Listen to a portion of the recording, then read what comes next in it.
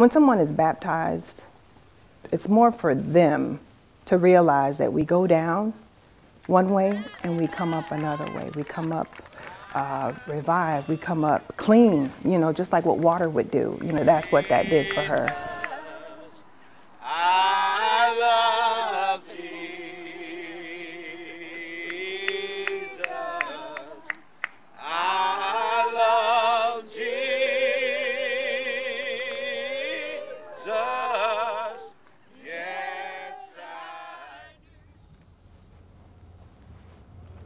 Area they brought me in was something like this, except it was a lot of bushes on both sides. There was no fence or anything over there. And when they parked in the yard, they, they pulled up this way. I was in the back seat. And they came in the car from this side. But one of them stayed up because when, when they picked up the other two, one of them got on that side behind me. I was on this side. And when they got ready to assault me, the one on this side pulled me back, and the other ones took my clothes off. My, my, my, took my panties off. Matter of fact, they did not take my skirt off.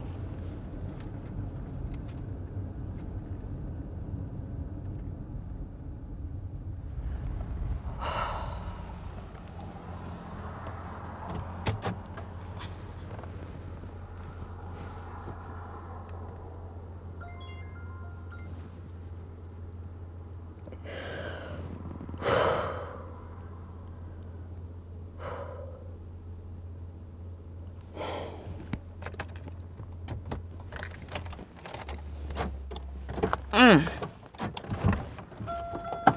Um,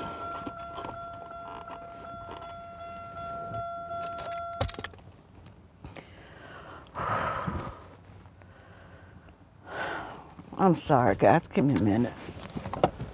I don't want to put the best feet forward.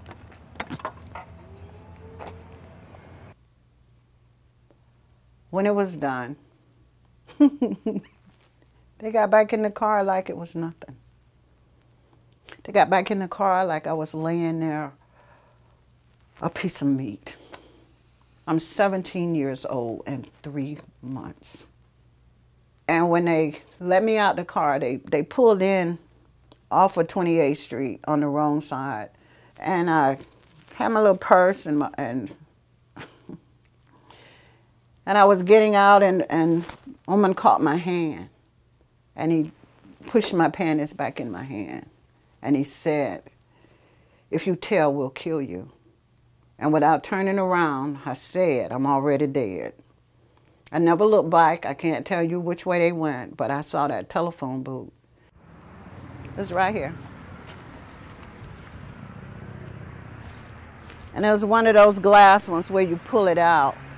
Mama always told us to keep money on us for phone calls.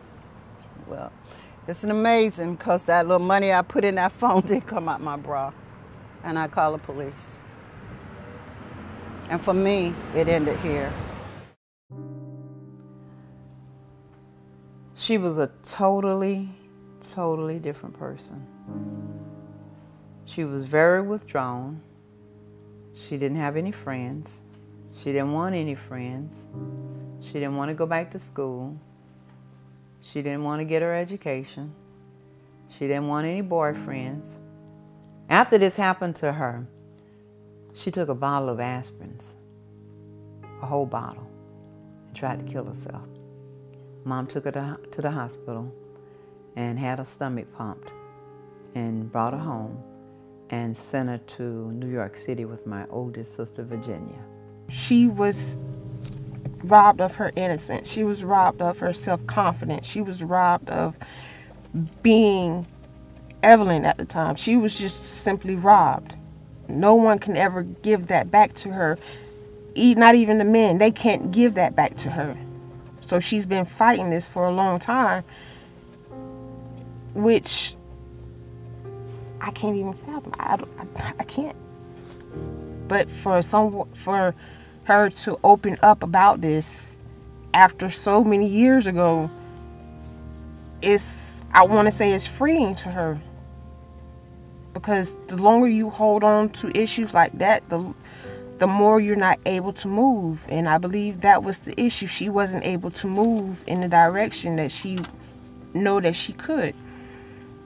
And I believe in place of the support, I believe God gave her five children that she could love and raise and teach.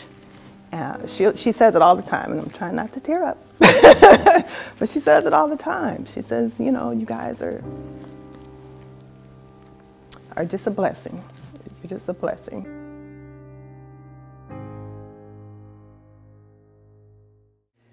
I always thought the worst thing that happened to me was no counseling. But you know what? It is. It's, it's a terrible thing. I lost my self worth. Matter of fact, my self worth never even developed.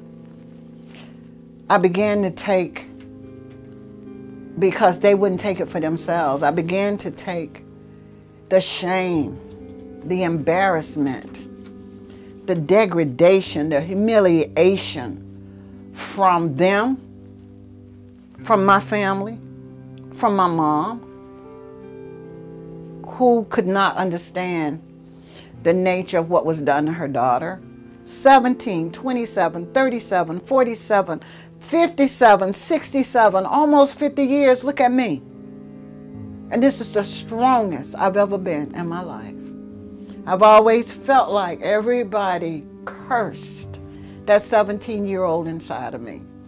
Everybody walked away from her. They were horrified about what happened to her. Well, you know what? That's me. And guess what? That little 17 year old girl, she's sitting right in here in me.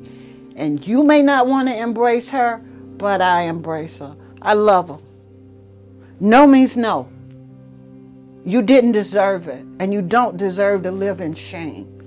If anybody deserves to live in shame, they do, not you. Please, please get help. You're worth it.